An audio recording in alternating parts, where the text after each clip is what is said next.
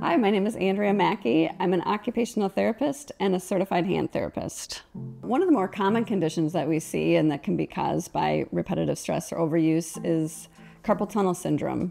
Um, the carpal tunnel is a essentially a canal that runs through the volar or the front part of your wrist here.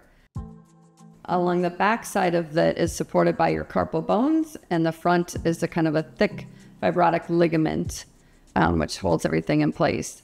And through the actual tunnel are your nine tendons that move your fingers and your thumb and your median nerve.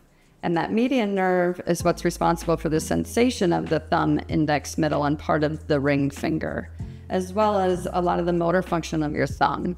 And when that median nerve is compressed, you can get those symptoms such as tingling and numbness, in your fingers, um, sometimes a burning, an achy or pain sensation in your hand and all the way up through your forearm occasionally.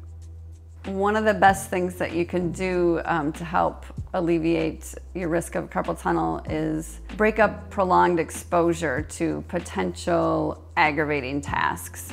Um, so taking breaks from those aggravating tasks that are vibrations through the hand um, forceful or strong grip or pinch activities.